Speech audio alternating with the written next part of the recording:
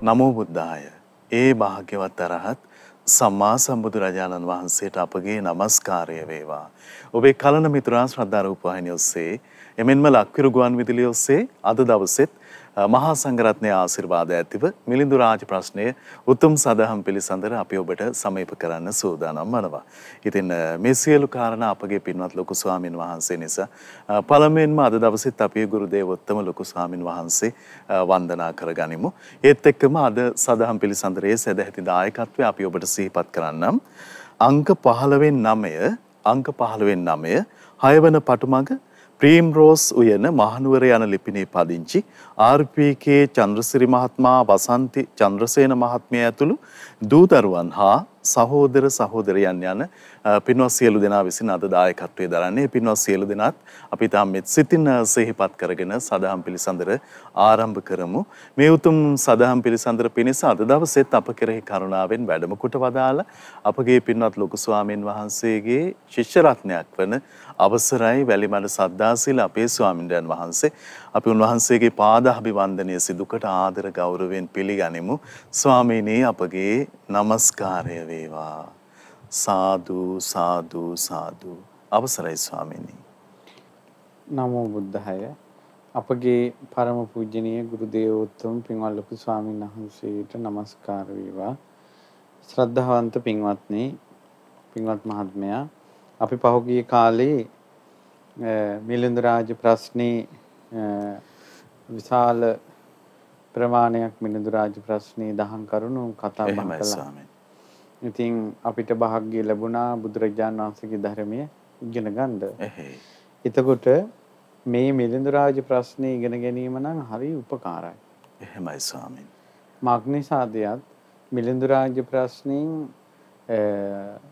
මේ ධර්ම ඉගෙන ගන්න අයටත් ඒ වගේම අලුතෙන් ධර්මේනට එන අයටත් එහෙමයි. ඒ වගේම බොහෝ කාලයක් ඉඳලා ධර්මයේ අහපු අයට හිතේ ගැටමසු තැන් තියෙනවා නම් ඒවත් නිර්වුල් වීම පිණිස පවතිනවා. එහෙමයි.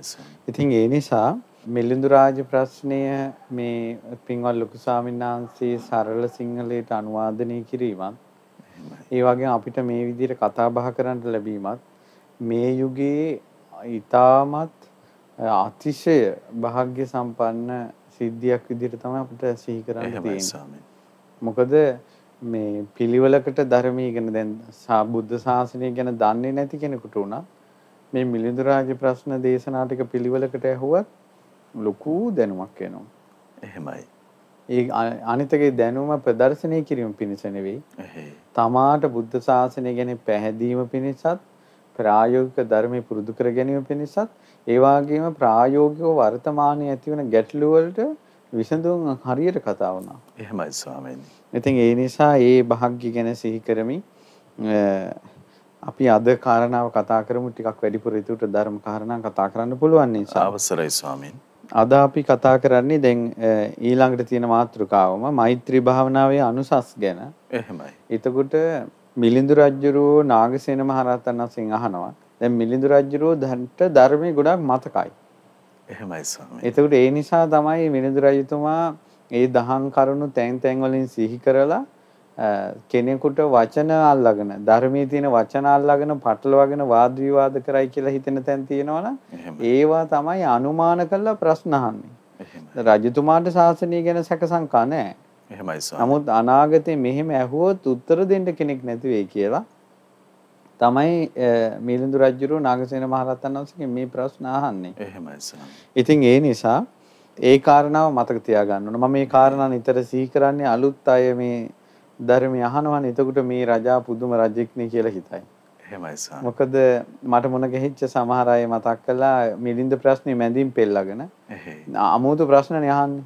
මෙහෙම ප්‍රශ්න අහන අය කෙනෙක්ගේ පොත් බලලා වැඩක් නැහැ කියලා සමහර අය මිලින්ද ප්‍රශ්නේ කියවලත් නැහැ. එහෙමයි ස්වාමීනි.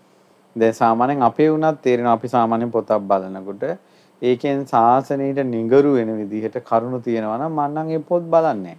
බයයි මේ පොත කියවෙන වෙලාවේ මට හානියක් වුණොත් එහෙම මට ශාස්ත්‍රුන් වහන්සේට ගරහන වචන කිය කියා ඉන්න වෙලාවක මාගේ ජීවිතේට හානි නොවේවා කියලා. එහෙමයි ස්වාමීනි. ඉතින් ඒ නිසා මේ තියෙනවා මේ දැන් මේ වෙලාවේ මෛත්‍රී භාවනාව ගැන කියනවා රජ්ජුරෝ නාගසේනයන් වහන්සේ මෛත්‍රී චිත්ත විමුක්තිය සේවනය කිරීමෙන් ආනිසංස 11ක් ගැන කියනවා. ඒ කියන්නේ මෙත්තාය භික්කවී චේතෝ විමුක්තිය ආසේවිතාය භාවිතාය බහුලී කතාය යානි කතාය වත්තු කතාය අනුට්ඨිතාය පරිචිතාය සුසමාරද්ධාය හිමේ ඒකාදසානිසංසා පාටිකංකා කියලා බුද්ධ වචනයක් තියෙනවා. එහෙමයි සම්. මහණෙනි මෛත්‍රී චිත්ත විමුක්තිය සේවනය කිරීමෙන් භාවිතා කිරීමෙන් බහුලව ප්‍රගුණ කිරීමෙන් නැග යා හැකි වාහනයක් වාහනයක්සේ කිරීමෙන් සිටි හැකි තැනක්සේ කිරීමෙන් උත්සාහවත්ව කිරීමෙන් වඩ වඩාත් කිරීමෙන් මනවින් ආරම්භ කිරීමෙන් 11 ආනිසංශයක් කැමති විය යුත්තේය. ඒ කවර 11ක් දෙයක් සුඛං සුපති කියලා තියෙනවා. එහෙ සුවසේ නිඳයි. එහෙ සුඛං පටිපුජ්‍යති. එහෙ සුවසේ අවදි වෙයි. හොඳට දැන් පුටුවක ඉඳගෙන නැගිටිනවා වගේ ඇඳෙන් නැගිට ගන්න පුළුවන් මෛත්‍රී චිත්ත විමුක්තිය තියෙනවා. දැන් ඒක කොච්චර ශ්‍රේෂ්ඨයිද කියලා තේරෙන්නේ උදේ නැගිටින විදිය බැලුවට පස්සේ. ආරේ ටැම්බරෙනවා මෙහෙ ටැම්බරෙනවා ඇස් දෙක සමහර අය ඇස් දෙක බාත්රූම් යන්නේත් ඇස් දෙක පියාගෙනමයි. ටිකක් වෙලා ගියාට පස්සේ ටිකක් වෙලා නැගිටලා ටිකක් වෙලා ගියාට පස්සේ ඇස් දෙක පියාගෙන බාත්රූම් එකට යන්නේ. සමහර අය එක හැක් වහගෙන එක හැක් අරගෙන බාත්රූම් එකට යන්නේ. එච්චර මේ නින්දාව මනස මේ මේ නින්ද අර මනුස්සයාගේ ශරීරයට මොකක්ද කරනවා. එහෙමයි ස්වාමී. අපි නින්ද පහසුව පිණිස නිගන්නේ. නමුත් මොකද්ද වෙනවා. ඉතින් නමුත් මෛත්‍රී චිත්ත විමුක්තිය තියෙන කෙනාට හොඳට මෛත්‍රිය වඩලා මෛත්‍රියේ සිත එකඟ කරගෙන වාසය කරන කෙනාට සුඛං සුපති ඇස් දෙක පියාගත්ත ගමන් නිින්ද යනවා ඇඹරි ඉන්න එකක් නැහැ. සිංහ සෙයියාවෙන් නිදා ගන්නවා කියන එක මහත්තයා කොච්චර අමාරු වැඩක්ද? ඒ ස්වාමීනි. මේ දකුණු ඇලේට හාන්සි වෙලා ඊළඟට පාදයෙන් පාදේ තබාගෙන පොඩ්ඩක් ගොප් පැටින් පාදේ පොඩ්ඩක් එහෙම කර ගන්නවා. අර ගොප් පැටි ගොප් පැටි උඩ තියන්නේ නැහැ.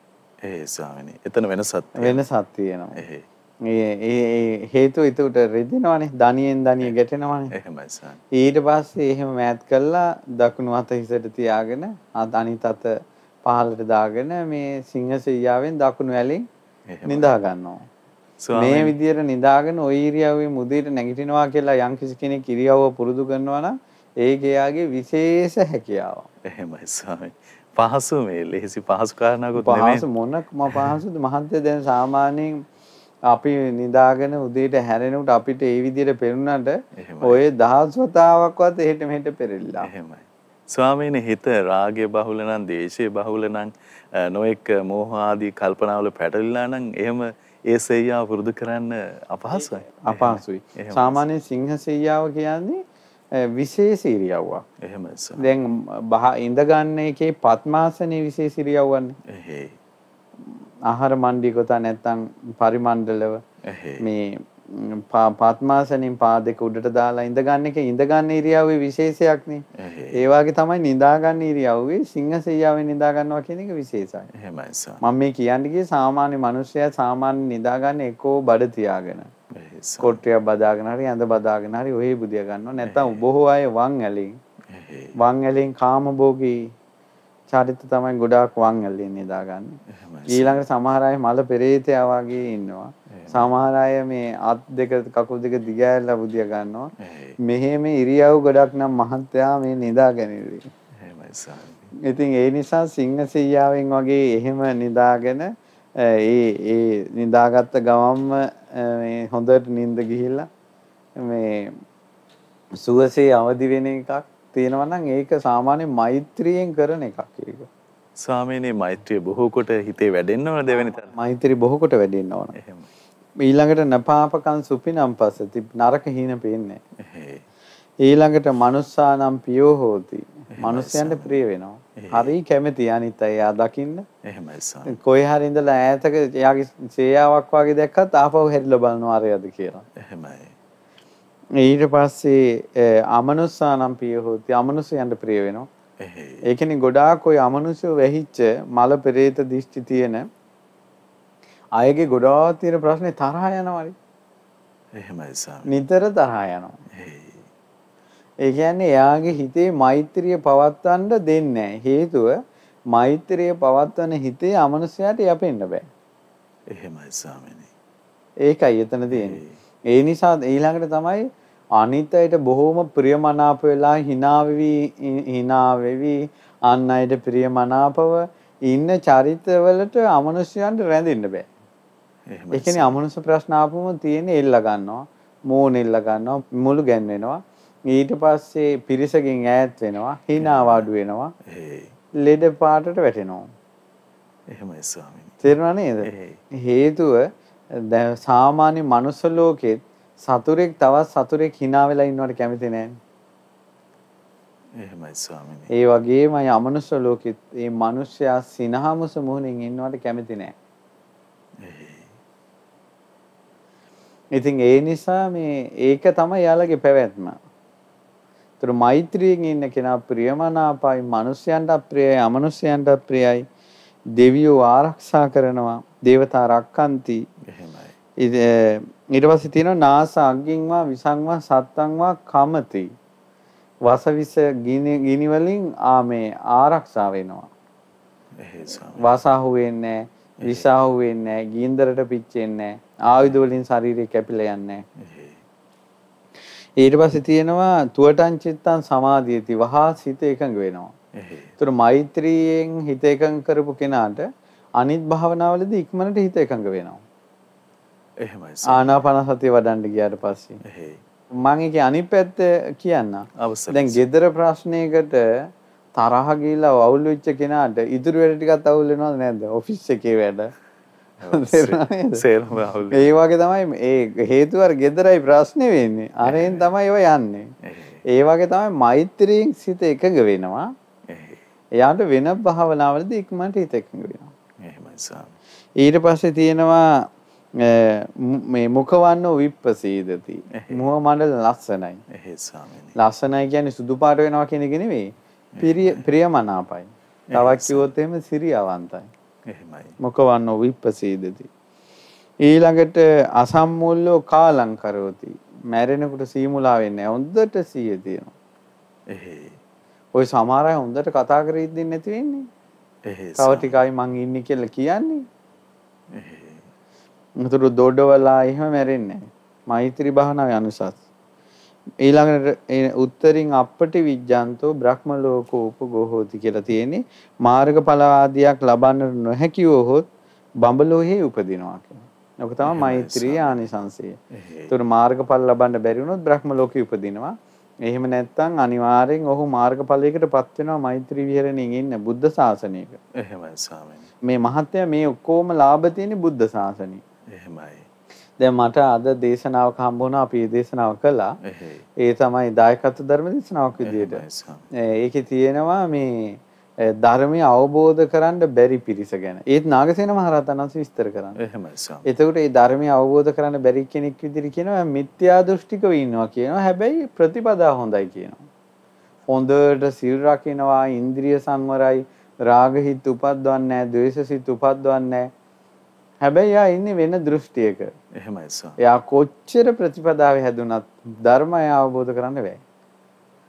දැන් පහුගිය කාලේ මේ ඔය එක එක විදියට මේ පහුගිය කාලේ වෙච්ච දේවල් බුද්ධ ආගමට වැඩිය හොඳයි අරක බලන්න එයාලගේ තියෙන ඉවසීම කරුණාව මෛත්‍රී කියලා කතා කරනවනේ ඔව් ස්වාමීනි එහෙමයි. නේද?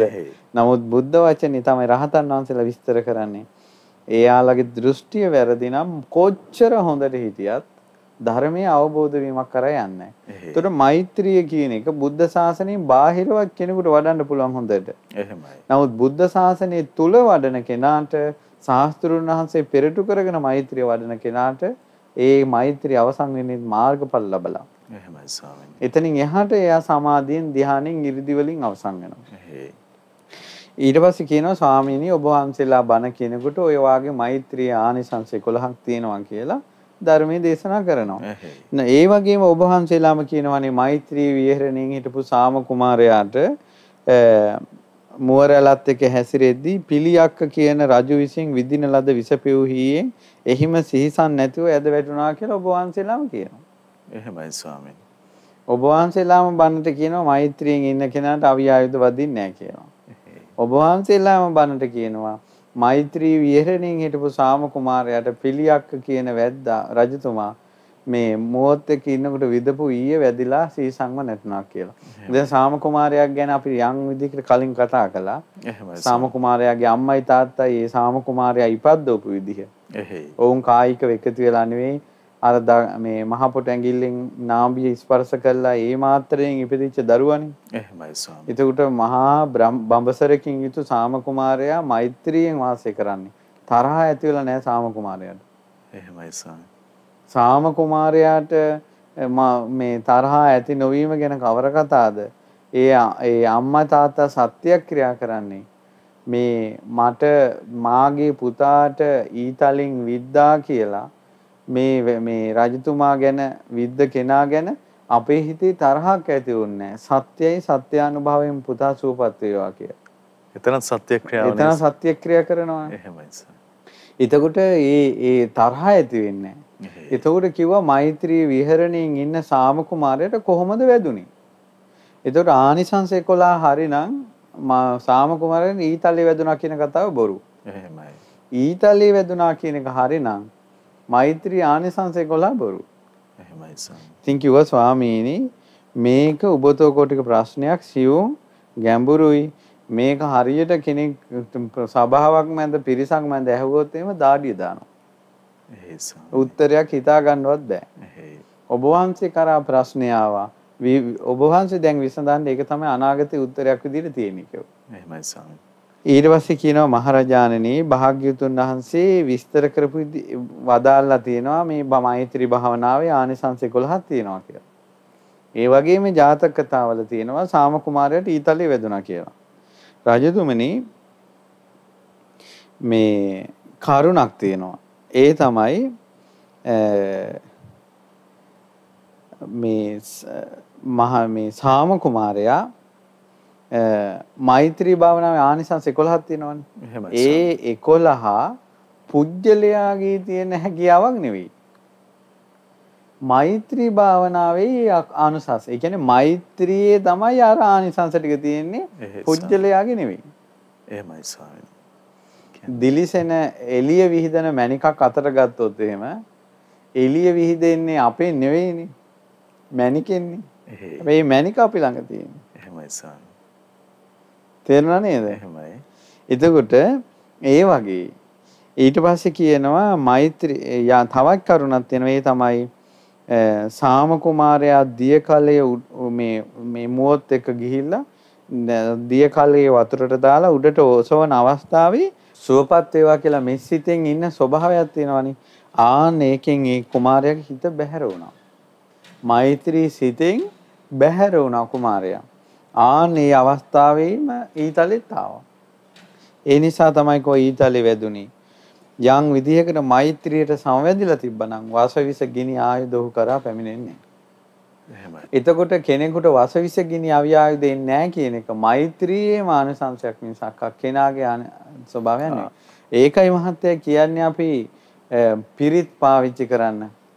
එයා සිල්වත් වුණත්, එයා ගුණවත් වුණත් නැතත් පිරිත පාවිච්චි කරන්න කියන්නේ පිරිතේ ආරක්ෂාව එන්නේ පිරිත නිසා. එහෙමයි ඒකට එයාට පිරිත ගැන විශ්වාසයක් තියෙනවා නම් පිරිත ගැන ශ්‍රද්ධාවක් තියෙනවා නම්. එයාගේ දෝෂ අඩුපාඩුකම් මොනවා වුණත් එයාට ඒ තියෙන ශ්‍රද්ධාව මුල් කරගෙන ඒ පිරිතේ ආනිසංස එනවා. එහෙමයි ස්වාමීනි ඒ ආරක්ෂාව ඔහුට දෙන්නේ ඔහුගේ නෙමෙයි පිරිතින්. ඊට පස්සේ මෙතන විස්තර කරනවා මහරජාණනි මෙහිලා මේක තේරුම් ගන්න කියනවා. යුද්ධෙට ගිය කෙනෙක් හොඳට යුද ඇඳුම ඇඳගෙන යුද්ධෙට යනවා. යනකොට ඊතලයක් යුද ඇඳුමේ වැදෙනවා කවචේ. ඊට පස්සේ වදිනකොට ඒ ඊතලය ඇඟට වදින්නේ නැතුව බිමට වැටෙනවා. එතකොට ඔහු ඊතලෙන් රැකුනේ යුද සෙබලාගේ තියෙන සූර වීර බව මතද අර ඇඳුම නිසාද? ඇඳුම නිසානේ ස්වාමීනි ඇඳුම. නිසා. එතකොට මේ ආනිසංස 11 තියෙන්නේ මෛත්‍රියේ මිසක්ක සාම කුමාරයා තුල නෙමෙයි. එහෙමයි ඒත් සාම කුමාරයා යම් මොහොතක මෛත්‍රියෙන් බැහැර වුණාද ඊතලෙ ඔහු කරා පැමිණුණා. ඊට පස්සේ කියනවා මෛත්‍රියට සමවැදිලා හිටියානම් වෙන්නේ නැහැ. දැන් ඔය වාගේ මතකයිද අර උත්තරා.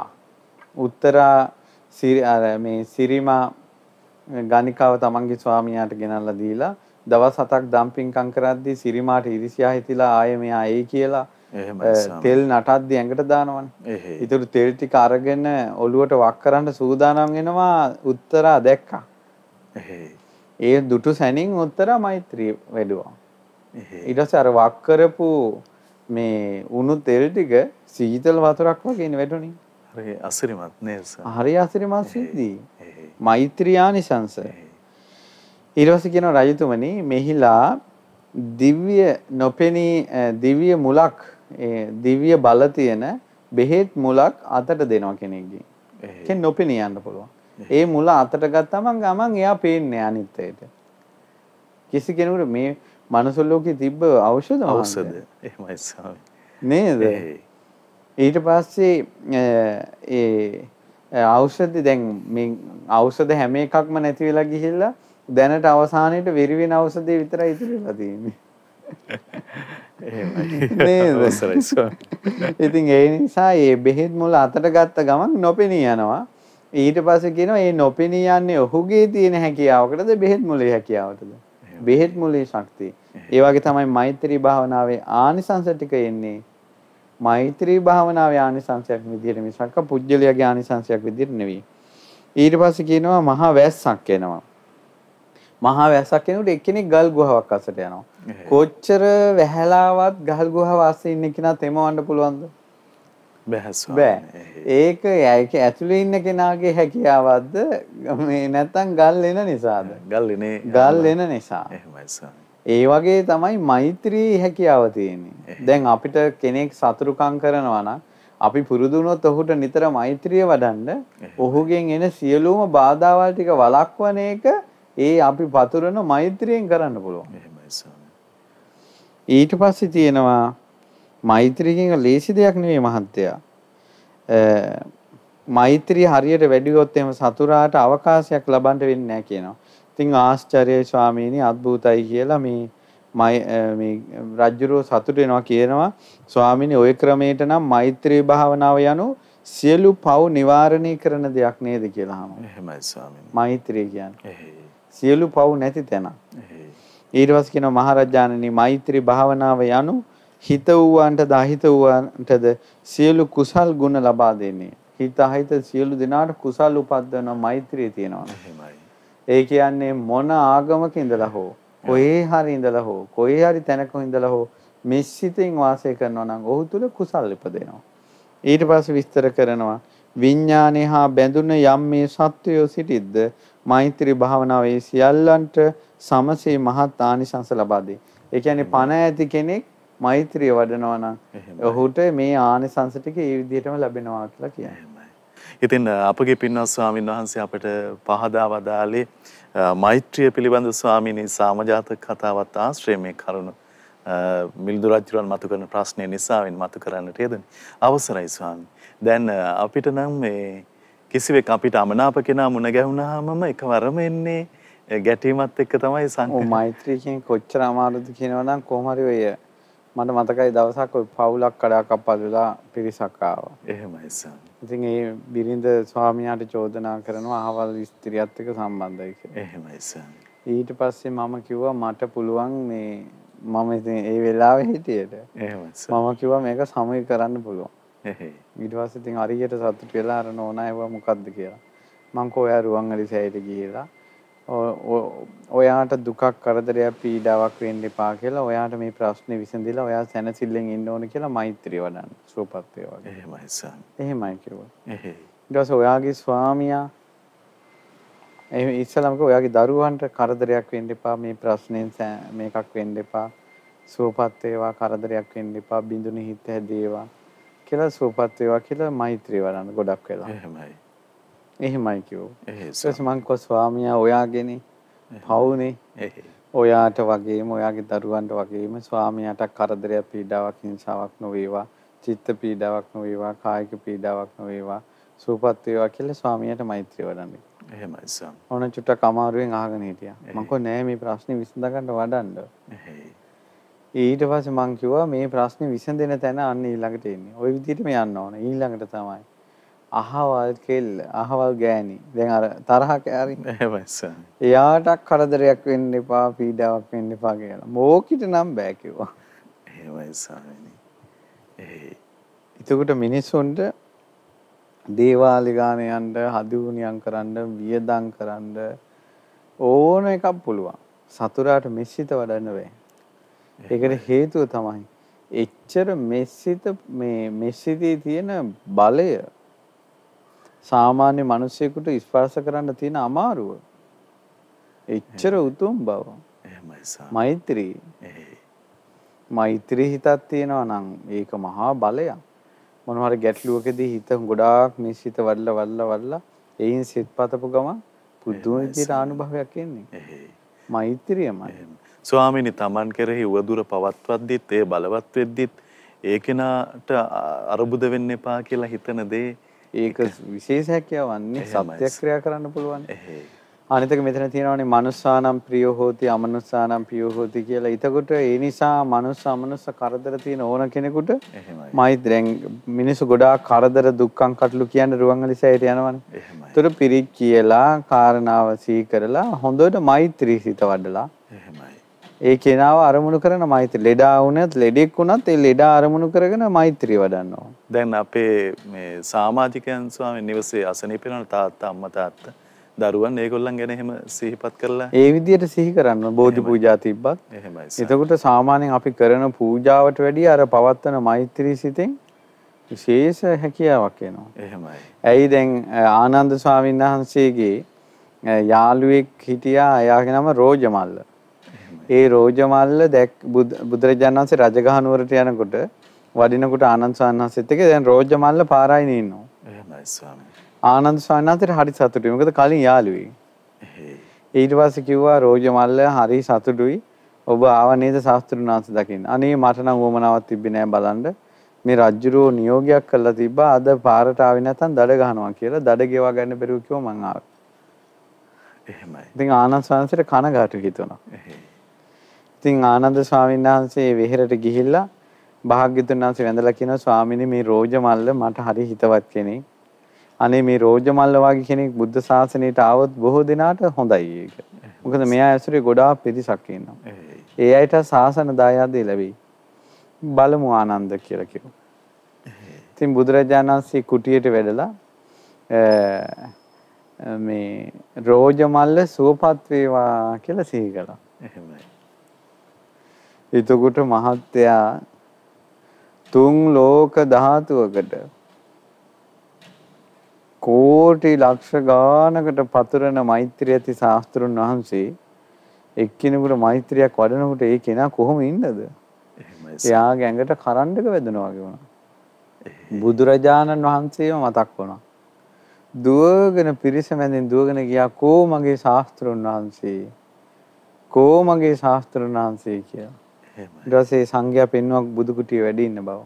කුටිය ළඟට ගිහිල්ලා දොර විවෘත කරපු සැනින් රෝජමල්ල ද- දණ්ඩ නමස්කාර කළා. සිරිපා ඉඹ ඉඹ කිව්වා ස්වාමිනී මම රෝජමල්ල ස්වාමිනී මම කිව්වා. එහෙමයි. ඉතින් බුදුරජාණන් වහන්සේ දහම් කාරණා කියලා ධර්මයේ විස්තර කරනකොට සෝවන් වුණා. ඉතින් රෝජමල්ල කියනවා ස්වාමීනි අද පටන් දිවි තිබෙන තුරු මුළු බුදුරජාණන් වහන්සේත් මුළු සංඝයාත් මගෙන්ම දහනේ ගන්න. මගෙන්ම සිවුරු ගන්න කියලා. එහෙමයි ස්වාමී. එතකොට බුදුරජාණන් වහන්සේ දේශනා කරනවා දුටු දහන් ඇති ශ්‍රාවකයාට ওই වගේ සිතුවිලි පහළ වෙනවා කියලා.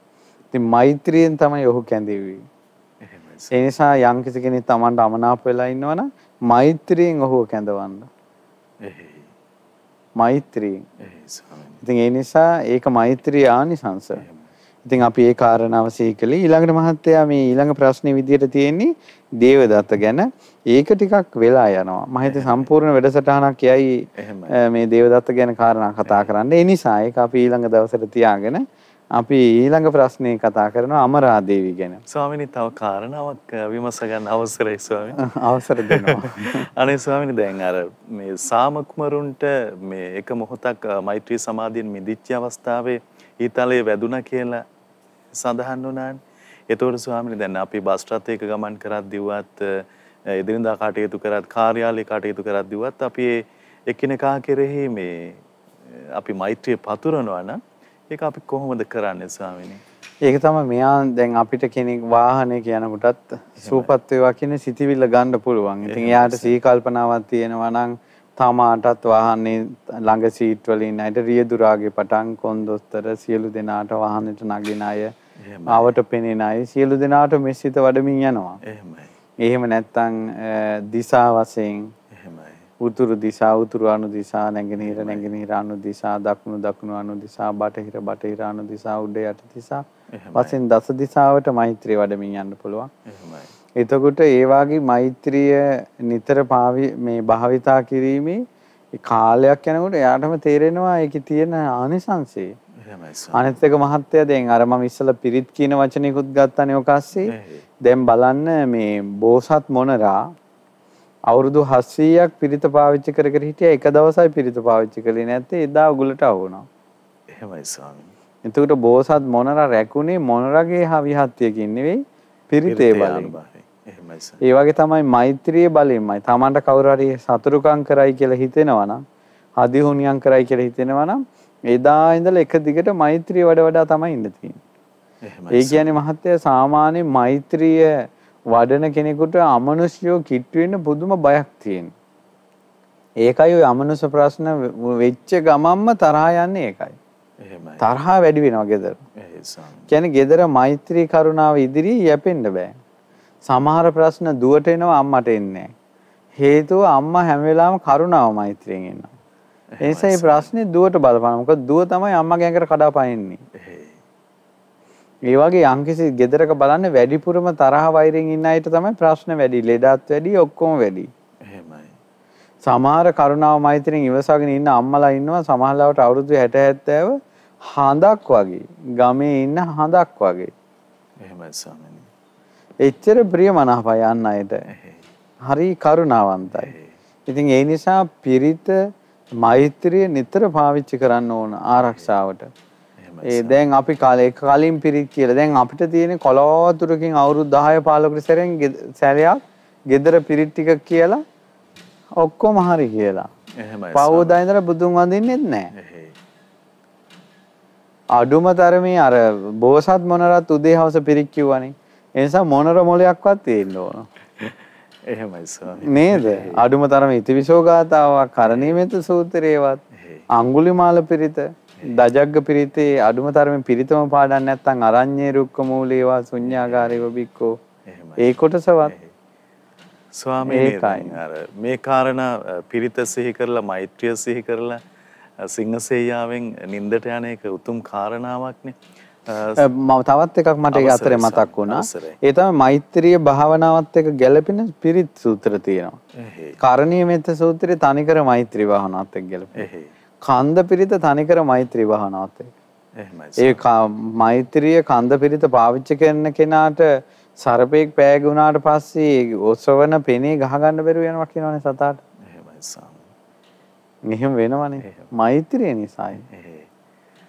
ස්වාමීනි දැන් බොහෝ වෙලාවට අපි තරුණ දරුවන් ගත්තොත් ඉන්නේ එහෙම අන්තර්ජාලය හෝ වෙනත් අවකාශයන්හි හිත ඇවිස්සෙන දේවල් ප්‍රයෝජනවත් දේවල් බලන අතරේම සමහර වෙලාවට බහුල වශයෙන් හිත මේ ඇවිස්සිලා පැටලලා මා ඒ වෙලාවේ තමයි මහත්තයා ඒ තරුණ ළමයිගේ ඇඟට එක එක බලවේග රින්ගන්නේ. එහෙමයි ස්වාමීනි. එහෙයි. අපිට දැන අපිට අහන්න කියන්න දැනගන්න ලැබිච්ච තොරතුරුත් එක්ක එහෙයි. ළමයි පිරිමි ළමයි 10 දෙනෙක් ගත්තොත් 5 දෙනෙක් 6 දෙනෙකුට වගේම බලපෑම් තියෙනවා. ඒ වෙන්නේම මේ ෆෝන් වලින් නරක වීඩියෝ බලන වෙලාවට තමයි ඇඟට ඇතුල් වෙන්නේ. ඇතුල් වෙලා ඒ රාග සිතෙන් ඊළඟ රාගිකව ඒ කරන දේවල් එක්ක එයාලට ලැබෙන ආහාර වලින් යැපෙනවා. එතකොට එයාලා නිතර යාව පොළඹවනවා ඒ ක්‍රියාවට. නිතර පොළඹවලා ඒකෙන් යැපෙනවා. එතකොට ඒ හැම වෙලාවෙම එයාගේ හිත දුර්වල වෙච්ච වෙලාවක් ගන්න. එක්ක සීලෙන් දුර්වල වෙච්ච වෙලාවක්, දෘෂ්ටියෙන් දුර්වල වෙච්ච වෙලාවක්. ඒ වගේම සිතෙන් දුර්වල වෙච්ච වෙලාවක තමයි අනිවාර්යයෙන්ම මේ බලවේග වලට ඔව් මිනිසෙක්ගේ ඇඟට අමනුෂ්‍යෙක් රින්ගන්නේ. ඉතින් මෛත්‍රිය කියන එක සම්පූර්ණ ආවරණයක්. එයාගේ ශරීරයට තියෙන කවචයක් වගේ යුද්ධ හැට්ටයක් වගේ. එහෙමයි. එච්චර ලොකු ආරක්ෂාවක් තියෙනවා සතුරු ප්‍රහාර වදින්නේ නැති විදිහට. එහෙමයි. මෛත්‍රී ආනිසංස. ඉතින් ඒකනේ බුදුරජාණන් වහන්සේ දේශනා කරන්නේ දෙපැත්ත කැපෙන කඩුවක් කවුරු හරි කෙනෙක් නමන්ට හැදුවොත් එහෙම ඒකෙන් වෙන්නේ නමන්ට හදන මිනිහම තමයි කැපෙන්නේ. ඒ වගේ තමයි මෛත්‍රියෙන් ඉන්න කෙනෙකුට කවුරු හරි කර මේ අනවින කොඩි වින කරන්න හැදුවොත් අමනුෂ්‍ය ප්‍රශ්නේ අමනුෂ්‍ය කරදර කරන්න හැදුවොත් එහෙම ඒ කරදර කරන්න හදන කෙනාම කැපිලා. එහෙමයි. ඒක හේතුව ඒක තමයි කිව්වා මෛත්‍රී ආනිසංසය. එහෙමයි. මේ ලෝකේ මෛත්‍රී භාවනාව හරියට කෙනෙක් වඩනවා නම් මහත්තයා මේ ලෝකේ යම්තාක් පින්කම් නැද්ද? පින්කම් තියෙනවානේ අපි මල් පූජාවල් කරනවා ඊළඟට ගෙවල් හදනවා එක එක පින්කම් කරනවා දානමාන දෙනවා එහෙම තියෙනවානේ. මේ ලෝකේ යම්තාක් පින්කම් නැද්ද? ඒ සියලු පින්කම් මෛත්‍රී චේතෝ විමුක්තියෙන් 16න් පංගුවක් තරම්වත් වටින්නේ නැහැ. සියලු පින්කම් මෛත්‍රී භාවනාවෙන් 16න් පංගුවක් තරම්වත් වටින්නේ නැහැ කියනවා. එහෙමයි. ඒතර සාමාන්‍ය ලොකු පින්කමක් කරපුවාම සමහර අය දුක් වෙනවා අනේ අපිට ওই වගේ පින්කම් කරගන්න නෑනේ කියලා. එහෙනම් මෙයාලා පින්කමක් දැක්ක ගමන් අනේ මෙයාලා මෙහෙම පින් කරගත්තා මීට වැඩිය පිනක් මම රැස් කරගන්න ඕන කියලා මෛත්‍රී පැය භාගයක් විතර වඩනවනම් එහෙමයි. අර පින්කම් වගේ 10 ගුණයක් 16 ගුණයක් පින් රැස් කරගනී. ස්වාමීනි එහෙම අඩුම තරමේ පැය භාගයක්වත් අපි මෙත් සිතින් වාසය කරනවා නම් දවසකට ඒක අපිට මෛත්‍රී සමාධියක් වැඩිම පිණිස උපකාර ධර්මයක් වෙනවා. ඒ මෛත්‍රී අරමුණ නිතර නිතර ආසේවනයේ භාවිතාය බහුලීකතාය කරනකොට තමයි මේ නිතර නිතර ඒ මෛත්‍රී අරමුණු සිහි කරනකොට හිත මෛත්‍රියෙන් පිරීලා යනවා. එහෙමයි. ඒතර මෛත්‍රියේම හිත පවත්නවා. කුසල චිත්තස් ඒකාග්‍රතා ඒතයති සමාධි. ඒතර ඒ කුසහසිතේම හිත එකඟව පවතිනකොට ඒක සමාධියක් බවට පත් වෙනවා. එහෙමයි සාම. ඒතර සමාධියක් බවට පත් වෙලා හිතේ පිහිටියට පස්සේ මේක එක චේතෝ විමුක්තියක් බවට පත් වෙනවා. එහෙමයි සාම. ඒතකොට හරි පහසුයි පිරිස අතර ඉන්නත් පහසුයි. මේ නිතර තරහ යන අය ඇසුරු කරන්නවත් කැමති නෑනේ ස්වාමී. ඇයි හොස්ස ළඟින් මැස්ස යන්න බෑනේ. නේද? තරහ යන්නේ නැති ඇසුරු කරන්න ගොඩක් අය කැමති. එයාට තරහ යන්නේ නැහැ කියලා කියනවා. එහෙමයි සාම. නේද? මේ ප්‍රසන්න කාරණාවක් නෙවෙයිනේ තරහ. ඔව් ඒක පුජ්‍යලයාගේ දේ අනේ තරහේ ඒ තරහේ තියෙන එක තමයි අන් අයට අප්‍රිය කරනවා. එහෙමයි සාම. නේද? ස්වාමීනි දැන් මෛත්‍රියේ මෙපමණ ආනිසං මෛත්‍රී කියන සංකල්පනාවේ මෙච්චර බල සහිත භාවයක් මෙච්චර ගුණ සහිත භාවයක් තියෙනවා කියන එක අපිට දැන් පැහැදිලි වෙනවනේ. එතකොට ඒ පරිද්දෙම නරක සිතක් අපේ හිතේ වැඩි වැඩි යනවනේ. ඒකේ නරක පවිටු දේ බොහෝ ඇති වෙන්න ඉඩකඩ තියෙන ඔබ වහන්සේ අර කලින් පැහැදිලි ඒ කරනවා. මෙහෙම හිතන්නකෝ අපි ඔන්න හිතන්නකෝ කෙනෙක් දහම් පොතක් බලලා එහෙමයි. බණක් අහලා. එහෙම සතුටු කාරණාවකින් අහලා කාමරෙන් එළියට එනවා. එනකොට එයාගේ මූණයි. එහෙමයි සර්. යම්කිසි කෙනෙක් නරක වැඩක් කරලා එළියට එනවා. එයාගේ මූණයි අතර වෙනස බලන්න. එහෙමයි ස්වාමීනි. හැකිලී ගිය එහෙයි. මුළු ගැන්වුණු එහෙයි. හැකිලුණු මුහුණ. එහෙමයි. එතකොට ප්‍රසන්න මුහුණ. දැන් සාමාන්‍යයෙන් හොඳට සිහි කල්පනාවෙන් කෙනෙක් දිහා බලනකොට ඒ කෙනා මෙතෙන් ආවේ හොඳ වැඩක් කරලාද නරක වැඩක් කරලාද කියලා සාමාන්‍යයෙන් දැක්ක ගමම පේනවා. එහෙමයි ස්වාමීනි. ඒක තමයි ඒ සිත්වල ස්වභාවය. දැන් අපිට උනත් දැන් සාමාන්‍ය නිදි ගතිය වැඩි වෙලා වැඩසටහනක් කරනකොට මූණේ ස්වභාවයයි. නිදිම නිදිමත ගතිය අඩුවෙන් වැඩසටහනක් කරනකොට හිතේ ස්වභාවයයි. ඊළඟ ගැඹුරු දහම් කරුණු කියනකොට මූණේ ස්වභාවයයි. තේරෙන දහම් කරුණු කියනකොට මූණේ ස්වභාවයයි. ඒව වෙනස්නේ. ඒ. චිත්ත චෛතසික ධාතුව පින්වත් මහත්තයා මේ රුධිර ධාතුව පාරක් මේ මේ පුරා පැතිරලා යනවා. ස්වාමීනි. ඒතකොට ඒකනේ මුඛ වන්න විප්‍රසීදති. එයා ලස්සන වෙලා යනවා. ප්‍රේමනාප වෙලා යනවා. ස්වාමීනි දැන් ආදරය පිණිස අම්මලා අප්පච්චිලා දූ දරුවෝ පවුල කියන සංස්ථාව යම් විදිහකට තියනවාද? ඒ සියලු දෙනත් මෛත්‍රියෙන්ම වාසය කරනවා නම් බොහෝ අර්ථයන් මතුවෙනවාද ස්වාමීනි? ඔව් ඉතින් අර්ථයක් මතුවෙනවා කියලා කියන්නේ මහත්තයා එතනනේ ඉතින් සතුට සමගිය සැනසෙල්ල ඔක්කොම එන්නේ නේ. හැම වෙලාවෙම ගෙවල් වල රණ්ඩු නම් තරහයි නම් වෛරේ නම් එහෙයි. නේද? සමහර ගෙවල් වල තියෙනවා සමහර දෙමව්පියන්ට කරුණාමයි මම උදාහරණයක් අපේ ලොකු ස්වාමීන් වහන්සේ. ලොකු ස්වාමීන් දවසක් මට මතක් අපිට කියනවා ලොකු සංසිට මතක ඇති කාලෙක අම්මට තරහ ගිල්ල නැහැ කියනවා. ලොකු සන්නාසේ. ඉතින් ගෙදර මොනවා හරි ප්‍රශ්නයක් වුණාම පොඩි සුසුම් පොදක් හෙලනවා කිව්වා එච්චරයි කිව්වා. වචනයක් කියන්නේ නැහැ කිව්වා. ඒ වගේ ඉන්නවා. ඉතින් සමහර අය ඉන්නවා ජීවිතේට තරහ ගිල්ල නැති අය. හරි පුදුමයි. ඒවනම් සසරේම පුරුදු කරගෙන එන ඒවයි ස්වාමීනි. මේක අද කාලේ තරහ යනවා කියන එක කොහොමද? කියන්නේ ආයුෂ අඩුවෙන් අඩුවෙන් එන විශේෂ එකක් තමයි විශේෂ නොගුණයක් තමයි ආයුෂ අඩු වෙනකොට තරහ වැඩි වෙනවා. එහෙමයි ස්වාමීනි. තරහ වැඩි වෙනවා.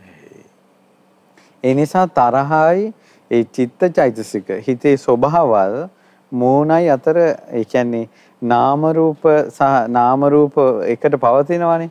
එතකොට සිතේ ඇති වෙන නාම ධර්මයන්ගේ ස්වභාවය බාහිර රූප කායත් කායෙන් පෙන්눔 කරනවා. ඒකනේ සමාධියට සංවැදිලා එනකොට අහන්නේ මේ සාරිපුත්යන් වහන්සේ සමාධියට සංවැදිලා එනකොට මුගලන් මහරහතන් වහන්සේ අහනවා මේ ඔබගේ මුව මණ්ඩල ගොඩාක් ප්‍රසන්න වෙලා. ඇයි මේ කියලා.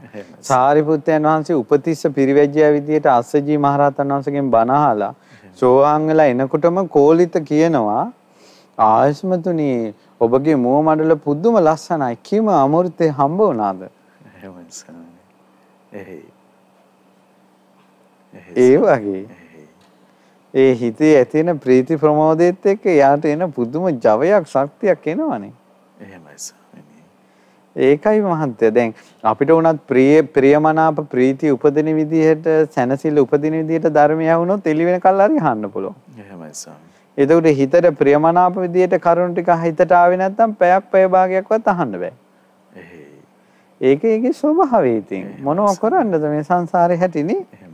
ඒකයි. අවසරයි ස්වාමී. එහෙනම් දැන් අපිට අවස්ථාව දෙනවා ඊළඟ ප්‍රශ්නේ. අනේ අවසරයි ස්වාමී. ඊළඟ ප්‍රශ්නේ හැබැයි කතා කරන්න වෙලාව ඇති. තමයි නේද ස්වාමී. අමරාදේවින් වහන්සේ පිළිබඳ අමරාදේවි ඉතින් මේ අමරාදේවිය ගැන තියෙන්නේ මේකක් කතා කරන්න වෙලාව ඇති දන්නේ. අවසරයි ස්වාමීන් වටපිටාව ගැන තොරතුරු දැනගන්න. වටපිටාව හරි බලමු. අවසරයි ස්වාමීන්. අමරාදේවියගේ කතාව ඉන්නේ උම්මගේ ජාතකයේනේ. එහෙමයි. උම්මගේ ජාතකයේ මහෞෂධ පඬිතුමා මහෞෂධ පඬිතුමා යනවා තමන්ට 16 වෙනි වියේදී රජ රජමාලිගාවෙන් විවාහයක් කරලා දෙන්න හදනවා. එහෙමයි සර්. උදුම්බර දේවි මුල් වෙලා. ඊට පස්සේ කැමති වෙන්නේ නැහැ. කියනවා මම හොයා ගන්නම් කියනවා. එහෙමයි සර්. මම හොයා. හැබැයි මතක තියාගන්න ඕනේ ඒ මහෞෂධ පඬිතුමා ඒ වෙනුවට රාජ්‍ය සේවයේ ඉදී හිටපු කෙනෙක්. මවගෙන් ඈත් වෙලා පියාගෙන් ඈත් වෙලා. එහෙමයි. එතකොට ඒ නිසාම කියනවා. එතකොට මේ රජපෞලේ කැමති වෙනවා මවස්තත පඬිතුමා නුවණක්කාර නිසා සුදුසු කෙනා හොයාගනී කියලා. දැන් අද ගෙවල් වල මේ අම්මලා තාත්තලාට විශ්වාස නැති දන්නවා අපේ එකා මෝඩයි කියලා. මොකක පටල වෙයිද දන්නේ නැහැ කියලා බයයි. ඒකනේ තියෙන්නේ. ඉතින් ඒ නිසා නුවණක්කාර නිසා යැවුවා. ඊට පස්සේ මවස්තත පඬිතුමා වෙස් මාරු කරගෙන යනකොට ගම් ජනපද නියංගම් කොච්චර කෙල්ලෝ ලක්ෂ ගාණක් දැක දැක ගියා. හැබැයි දැකීමෙන්ම තේරෙනවා මේක නම් හරියන්නේ නැහැ කියලා. ඊට පස්සේ ওই විදියට ස්වාධීනව Tamanට කෙල්ලෙක් හොයාගෙන කවුරු හරි අද කාලේ කොල්ලෙක් ගෙහින් එළියට බැස්සොත් මීටර් 100ක් නම් යන්නේ නැහැ. එහෙමයි. මාවසද පණිතුමා ගම් නියංගන් සිසාරා ගියා. ගැලපෙන කෙල්ලෙක් හොයාගෙන. අද අද මීටර් 100කුත් ඕනේ නැහැ ෆෝන් එක විතරයි. මේකෙන්ම හොයා ගන්නවා කෙනා. එහෙමයි. ෆෝන් වල තියෙන පළහිලව් අම්මේ. බෝසතාණන් වහන්සේගේ ඊතරම් මේ අභිමානය මේ අර වසඟ නොවන භාවයේ ස්ත්‍රියට ඒ නුවණනේ. එහෙමයි නුවණනේ. ඒකට හේතුව නුවණ. ඒ කරල ගොයන් කරල පහලට බර වෙන්නේ එහෙමයි. ඒක මෝරපු එකත් එක්කනේ. එහෙමයි එතකොට මේ ස්ත්‍රීන්ට ලොල් නැති බවයි ඒ සුදුසු කෙනා සොයා ගන්න තියෙන ඥානයයි ප්‍රඥාවෙන් උපද්දවන්නේ ඒ උම්මංග ජාතකේ ප්‍රඥා පාරමිතාවට උදාහරණයක්. එහෙමයි ස්වාමීනි. ඊට පස්සේ හොයාගෙන යනකොට ඔන්න ගම් නියංගන් සිසාරා යනකොට මේ කෙල්ලේ ඔළුවේ වාජනයක් තියාගෙන ගමනක් යනවා. ඈ දුටු පමණින්ම හිතට මොකද වුණා? එහෙමයි. හේතුව ඈ අමරා. එහෙමයි සංසාරයක් පුරාවට තමන් එක්ක එන කෙනා. මොහොතකට දැනෙන්න ඇති හිතට. එහෙමයි සර්. වෙනමුත් කිට්ටු උනේ නෑ. ඊට පස්සේ දුර ඉඳලා මේ ඊට පස්සේ අමරාටත් හිතුණා කියනවා. අමරාටත් ඒ විදිහට මොනා කියනවා. දැක්ක ගමන්. ඊට පස්සේ තමයි අමරාදේවිය හැරෙන් ඉතින් කුමාරයාට හිතුණා මහෞෂධ පඬිතුමාට අවුරුදු 16යි. රන් කඳක් වගේ. මෙයා බැඳලාද දන්නේ කියලා. දැක්කනේ හිතපු දේ. අද කාලේ කොල්ලෙකුට හිත ගිය ගමන් බැඳලාද නැද්ද හොයන්නේ නැහනේ. එහෙමයි ස්වාමීනි. ඊට පස්සේ දැන් මෙහෙම කළා. මේ මත මෙහෙම දිගෑරියා. මේ මේ නෑ ඉස්සලම කළේ මෙහෙම කළා. ඒ කෙල්ල දකිනුන මෙහෙම කළා. දැන් අද කාලේ එහෙම කළොත් මොනවා වෙයිද දන්නේ. ඊට පස්සේ අමරාදීගේ දැනගත්තා. එච්චර නුවණ. ඈ මෙහෙම කළා. බැඳලා නෑ නිදහස ඉන්නේ කියලා. තේරෙනවනේ අස්ත මුද්‍රා. ඊට පස්සේ ඇහුවා මේ කොහෙද යන්නේ කියලා. ඉස්සලාම ඇහුවා නම මොකද්ද කියලා.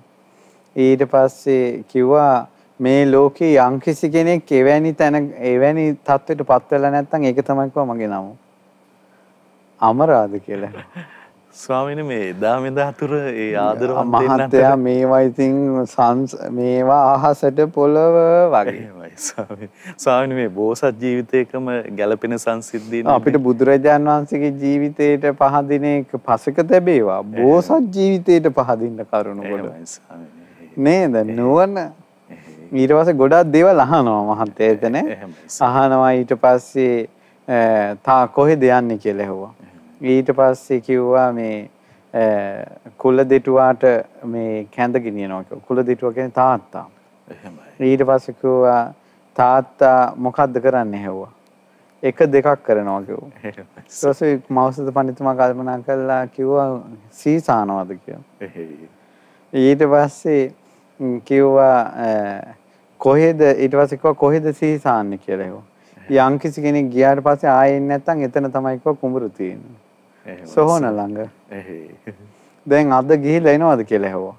වැඩි වුණොත් එන්නේ අඩු වුණොත් එනවා කිව්වා. ඇහුවා ඒ ඒ තෙන්ට යන්න ගඟකින් එතර වෙන්න ඕනේද කියලා. වතර වැඩි වුණොත් එන්න වෙන්නේ අඩු වුණොත් එනවා කියලා. කොහොමද මොලේ මෙහෙම උත්තරයක්වත් දෙන්න මොලයක් තියනවද අද කෙල්ලෙකුට? එහෙමයි ස්වාමීනි. මම ඇත්තටම මේ ලෝක ධාතු සිසාරා බැලුවොත් ඔහොම මොලයක් තියෙන කෙල්ලෙක් හොයාගන්න ඉන්නවද මහත්තයා? එහෙමයි. ඊට පස්සේ හැබැයි ප්‍රශ්නයක් නැහැ මොකද ඒ වගේ ප්‍රශ්න අහන කොල්ලෙක් නැති නිසා. ඊට පස්සේ මොකද උනේ කිව්වා මේ අයියන්ඩි මේ මොනවා හරි මේ මේ වළඳමුද කියලා ආහාරයට ගමුද කියලා. ඊට පස්සේ මවසද පඬිතුමා කල්පනා කළා පළවෙනි යෝජනාවනේ බැහැර නොකරමු කියලා. ඒත් හිතුවා මේ කෙල්ල අත හොදන්න නැතුව කැඳ භාජනේ අල්ලුවොත් එහෙම මම මේක බොන්නේ නැහැ. මම මෙතනම හැරිලා යනවා. අවංගවම හිතුවා. එහෙමයි. අර කෙල්ල අත හොදලාමනේ භාජනේ ඇල්ලුවේ. එහෙමයි. ඊට පස්සේ කල්පනා කළා මේ කැඳ ඔක්කොම ටික මට දුන්නොත් මම මේ කෙල්ල මෙතනම දාලා යනවා. තාත්තට ඉතුරු කරගෙන දුන්නොත් මම බොනවා කියලා. තාත්තත් තාත්තට ඉතුරු කරගත්තානේ. එහෙමයි ස්වාමීනි. ඊට පස්සේ කැඳ ටික බීලා මේ මොකද උනේ මහෞෂධ පඬිතුමා මේ ගෙදරට යන පාර ඇහුවා. ඊට පස්සේ පාර මේ වරද්දලා කිව්වේ. එහෙමයි. මට ඉතින් ඕවත් එක එක එක සිද්ධි මතක් වෙනවා අවසන් ඒ තමයි දැන් මේ කැඳ කැඳානේ ඉස්සලාම ලැබුණේ. අවසාන රජසැපනේ. ඔය අමරාට ලැබෙන්නේ. අද කාලේ පටන් ගන්නකොටම චොකලට් වලින් පටන් ගන්න. අවසානයේ කැඳත් නැති වෙනවා. අහසට පොළොව වගේ මේ ලෝකේ. ස්වාමීනි අර කැඳ බඳුන අල්ලන්න කලින් අත හොදලා ඒක අල්ලනවාද කියන විමසීම් මොනතරම් මේ ඒ චර්යාවනේ චර්යාව ඒ කියන්නේ කෙල්ලගේ කෙල්ලගේ හැදියාවනේ බලන්නේ නේ. එහෙමයි ස්වාමීනි. අද කාලේ කෙල්ල අද නම් මහත්තයා බලන්නේම පාටමයි හිතේ. එහෙයි. පෙනුම එහෙමයි ස්වාමීනි. පෙනුම බලන්නේ මං නම් හිතන්නේ නුවණ පෙනුම බලයි පළවෙනි එක. ඊටත් වැඩිය පෙනුමටත් වැඩිය බලයි ධනෙ. ධනය පෙනුම ඊළඟට සමාජ තත්ත්වේ එහෙයි. ඔය කොම් බලලා අවසානයේ චූටි තැනක් තමයි ගුණවත්කම දෙන්නේ. නමුත් මට මං මොනස මට නම් මුණ ගැහෙන සමහර අයට කියන්නේ මම කියන වචනේ පිළිගනී කියලා හිතුනොත් මම නම් කියන්නේ කොච්චර හොඳ පුදුම ලස්සන කෙල්ලෙක් ඉන්නවා කියන්නේ. නමුත් ඒ කෙල්ල යක්ෂණියක් වගේ තරහා යනවා නම්. ඒ ලස්සන කණ්ඩද මහත්තයා. නේද? ඊට කොච්චර සල්ලි තිබ්බත් එහෙයි. බැඳපු එකී යක්ෂණියක් වගේ නම්. මොකටද? ඒ නිසා ගුණවත්කම කියන එක.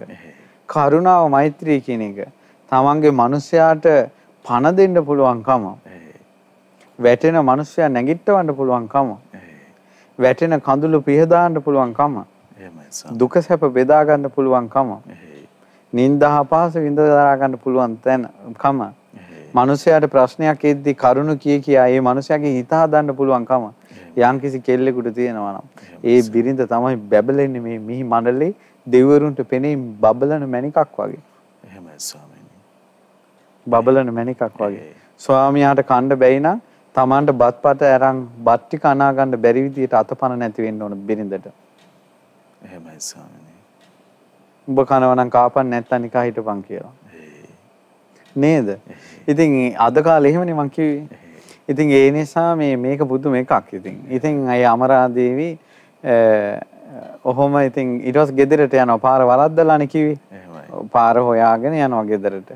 ගෙදරට ගියාට පස්සේ ගෙදර අය ඇයි කියලා අහනකොට මම රෙදි මහන කෙනෙක් කියලා. අමරා දේවි තමයි පාර කිව්වේ කිව්වා. ඒ ආයෙ නම් රෙදි මහන්ට අපි ගාව සල්ලි නෑ. සල්ලි ඕනේ නෑ රෙදි ටිකක් මහන්නම්. රෙදි මහන්න දුන්නා. තප්පරයට මහනවා.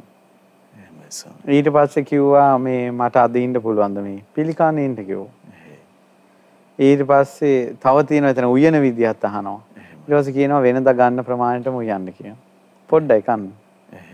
ඊට පස්සේ පහුවදා කියනවානේ මට ගමේම මට කීයක් හරි හොයා ගන්න ඕන කියලා. ගමේම ඇඳුම් අහනවා එක දවසින්. ඉතින් අමරාදේවි ඔය අතර එදා හවස එනවා.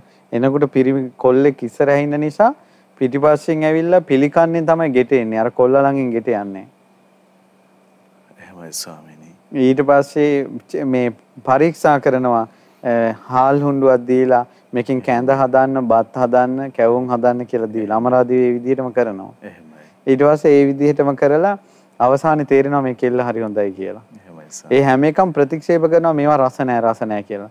කෙල්ලගේ මූණ වෙනස් වෙන්නේ නැහැ. එහෙමයි අද කාලේ ම- ස්වාමියා කිව්වොත් එහෙම මේකට ලුණු වැඩි කියලා ඔය හෙට ඉතින් ඕවා තමයි කියලා ගෙදර ඊට පස්සේ රණ්ඩුව පටන් ගන්නෙ. එහෙමයි ස්වාමීනි තේරුණා නේද?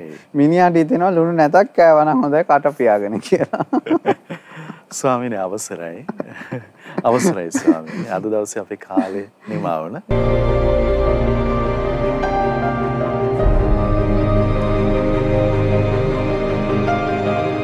මිලිඳු රාජ ප්‍රශ්නය සදහම් පිළිසඳර